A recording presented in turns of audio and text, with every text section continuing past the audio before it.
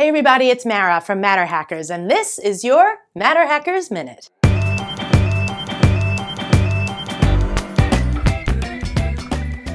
We've done videos before about how 3D printing is being used in the medical field for healthcare simulation. But this will blow your mind.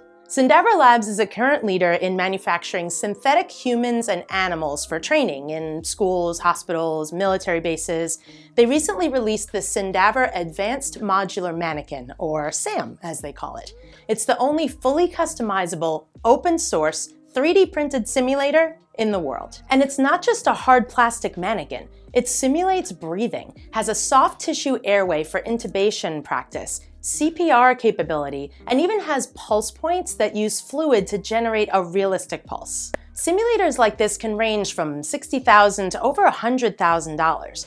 For the introductory price of just under 10 grand, you get a life-size 3D printed mannequin, a desktop 3D printer, and a license and lesson for ZBrush CAD software. The idea originated from customer demand for a more customizable simulation experience. The vision is for practitioners to use CAD design to improve upon the existing modules and create new pieces specifically for their own use cases. So they can change the size or even the gender specifications based on what they really need. Soon, there will be an open SynDaver community online where users can upload their designs and share them with others, effectively creating a library of modular solutions to handle any simulation challenge in addition to just being able to print your own replacement parts if something should break. The goal is to improve patient safety by having healthcare providers be more educated.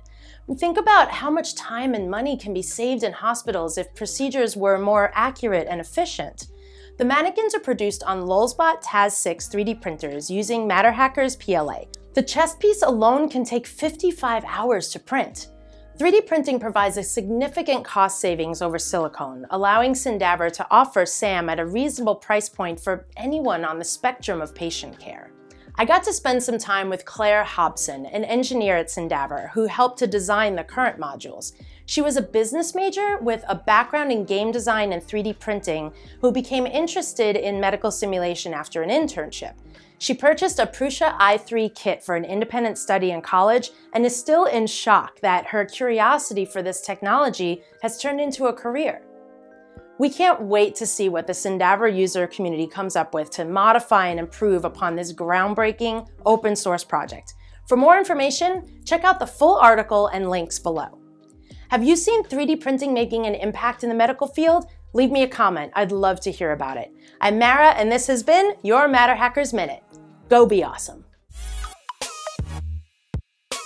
Thank you for watching. If you liked that, subscribe to our channel to keep up to date with all of our videos. And remember, go to matterhackers.com to shop for everything 3D printing.